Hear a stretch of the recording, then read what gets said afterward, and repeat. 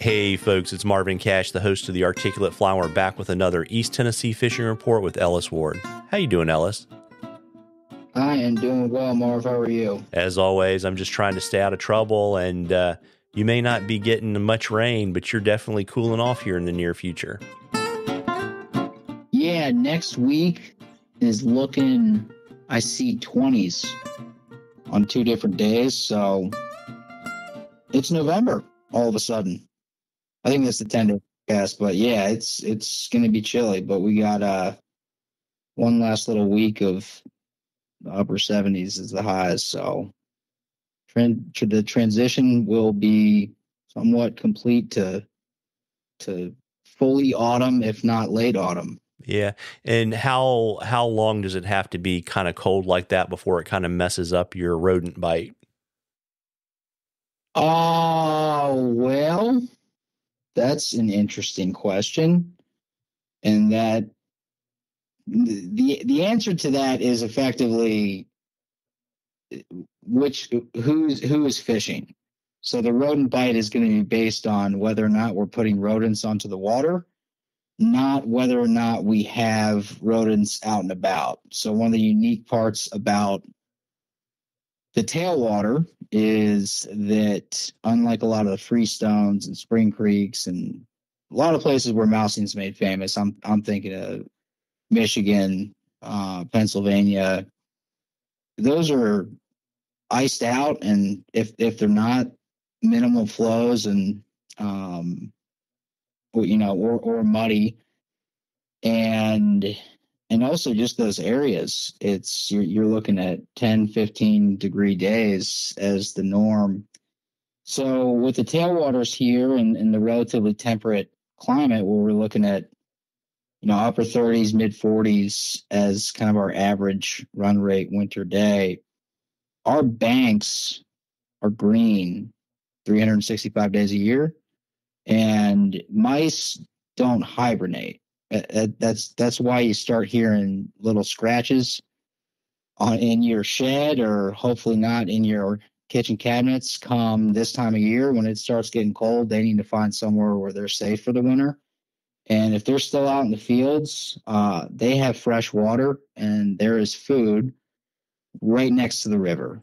And it starts to become limited their their food supplies and their water supplies those start to become limited not near the river. So the the, the notion that um, winter might slow things down, it's it really starts to fall on its face on, on just about every facet, in, including the fact that mice are are mammals. So the colder it gets, the more calories they need in order to keep their body temperature at, at a, a healthy temp. So all that you know the, the, nocturnal stuff does not stop throughout the winter. It's just do you want to go out and do that when it's kind of windy and you know a low of 28 yeah maybe we focus on daylight fishing.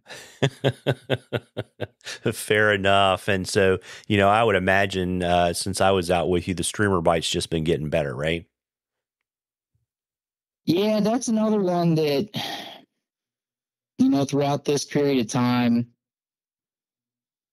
it it it changes and it changes mostly on a day-to-day basis because of ambient conditions you know inter and intraday. So be, between day to day are we getting any influence from the tributaries? Is it colored up at all? Those are good things.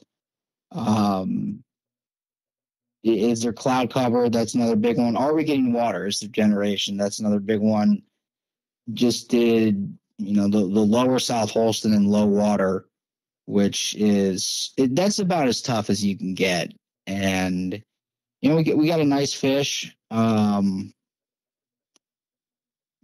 pretty high afternoon sun, bluebird day, gin clear water, but it takes work and you're really I'm I'm back rowing through 80% of the float and we're hitting the hot spots because otherwise it's just you can see everything that you're coming up on and everything can see you.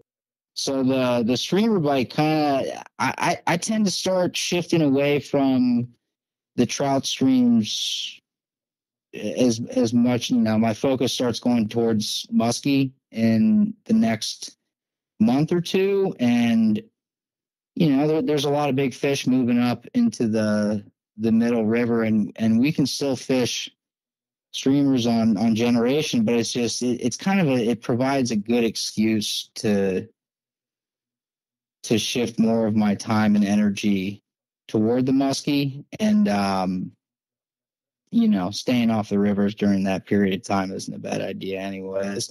Not that you can't fish to fish who are either pre or post spawn you're fishing the structure that's not a red. When you're fishing up against the bank and, and pulling them off of rock shelves and, and deep water.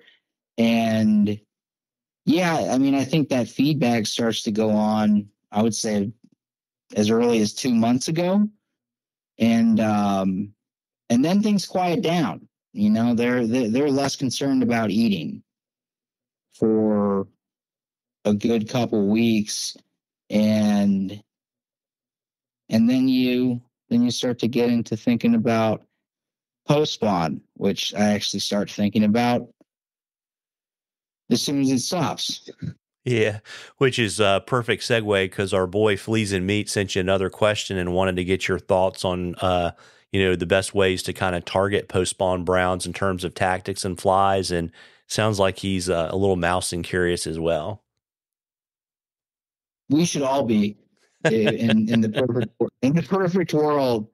I, I got a trip tomorrow and it's South Holston's not running till twelve it's like, yeah, you know, we'll fish till dark and then maybe I don't know. I feel like I'm convincing people against their will. Well, last for an hour or two. Um, yeah, post spawn browns. Again, we're talking about streamer fishing and we're talking about big fish. If you have gin clear water and you have no bitey conditions around, it's going to be tough fishing. You're not nymphing for five inch fish. You're you're trying to get one or two in the boat that day. And some of them might be you know 14 16 18 like you're not going after two footers all the time when you're fishing post spawn browns with streamers uh there are days though where that bitiness is a little something special. And that happens all the time. That could be yesterday, that could be a week from now, that could be in the middle of the summer. So you, you get the biting conditions. The difference there is that there's a lot of lake run fish and there's a lot of fish redistributing throughout the system where there's different pockets of the river that have higher densities of bigger fish and so you'll see certain runs, certain sections, certain, you know, day floats that are that are I mean, relative to most of the year, packed with big fish.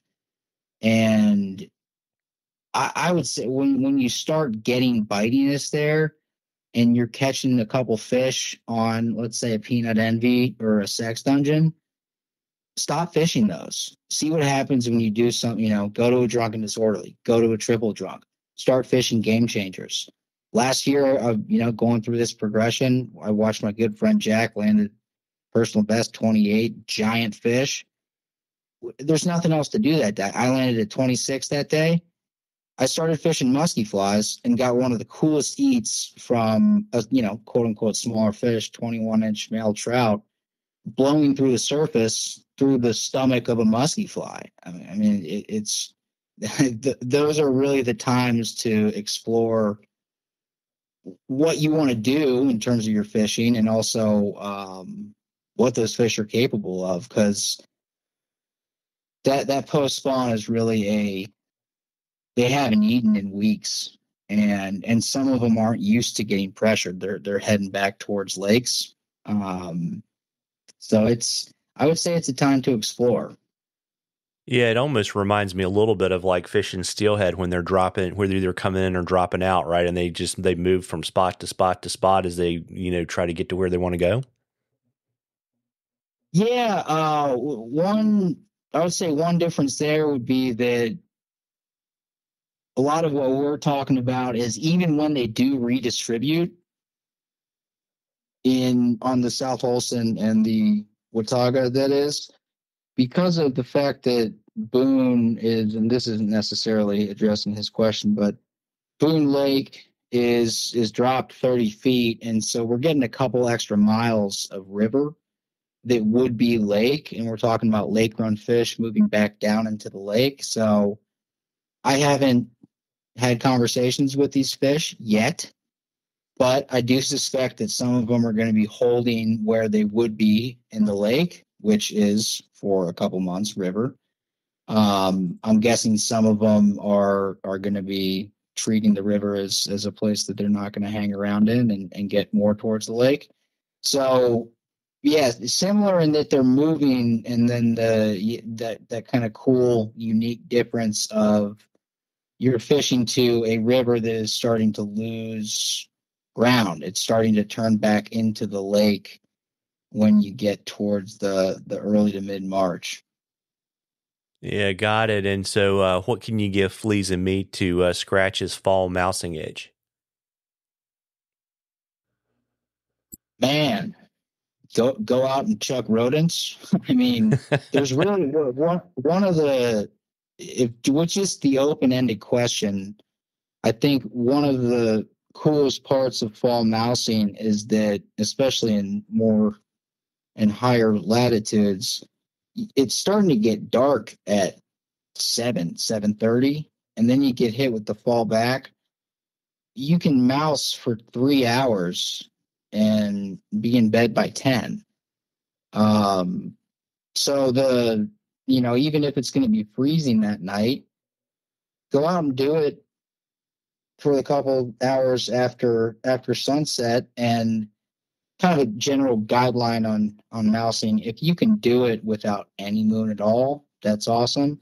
You can look up different solunar calendars farmers almanac um, and and look at the moon rise and moon set, I've seen a little bit of a correlation to how active game is supposed to be based on that calendar. It it's really you want to have that moon on the other side of the earth. So if you can get out on a a night when the moon set occurs near sunset, that's awesome. Otherwise, you know, try try to get that try to get that new moon phase or close to it. Uh, well, there you go. And you know, folks, we love questions at the Articulate Fly. You can email them to us. You can DM us on social media, whatever's easiest for you. And if we use your question, I will send you some Articulate Fly swag, and we're going to enter you into a drawing for two days of fishing with Ellis and a night at the Watauga River Lodge. And Ellis, before I let you hop this evening, you want to let folks know you know, where they can find you so they can book you and fish with you. But I bet you also maybe have a little bit of a status update on the bucktail situation too, right? Oh, I love the teaser. Yeah. Uh, Instagram is Ellis Ward Guides. Uh, best way to contact me, book trips, pick my brain about what your trip might look like, ask about bucktail.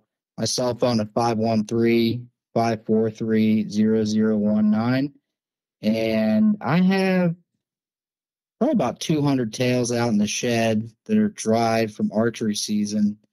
We got uh, the young bucks are there, there's a um, I think under some sort of youth opener this weekend, and that'll probably give me a couple hundred more, and then you know gun season is right around the corner and and it really starts to become um as much as my freezer space can hold. So i'll probably start putting them out either on Flyzotics or you know i'll make an announcement on my instagram page in the next week or two and so if someone wanted to buy you another chest freezer how many tails would you give them uh, depends on what they're tying. They want changer tails. I I would I would uh I'd be open to bartering. Yeah, fair enough. So folks, you know, if you have a spare freezer and you like bucktail, you might want to work something out with Ellis. Um, as I always say, fall is my favorite time of the year to get out on the water and uh, you owe it to yourself to get out there and catch a few. Tight lines, everybody. Tight lines, Ellis. Appreciate it, Marv.